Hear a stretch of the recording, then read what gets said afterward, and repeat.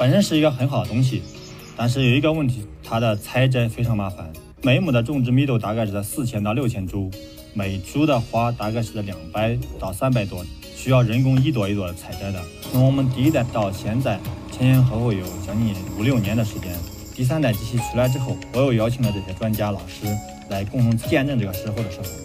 他们也觉得哦，这个打谷机可行得通的。食用局这一块，目前是国家在力推的生物源农药这一个范畴。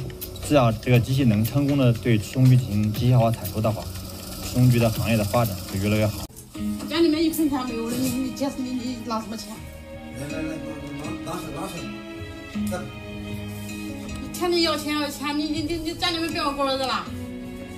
你看我穿着破衣服破裤子，天天跟着你过。好，家里面就这钱了啊！这一会儿啊没钱了自己借去。来，他只知道研究机器，他能知道什么呀？赚一点钱，每天你看研究机器，家里面的事他也不做。你看这效果还是很不错的，已经不偏离了，已经顺利的把大红薯地里面挖出来了，收获出来了。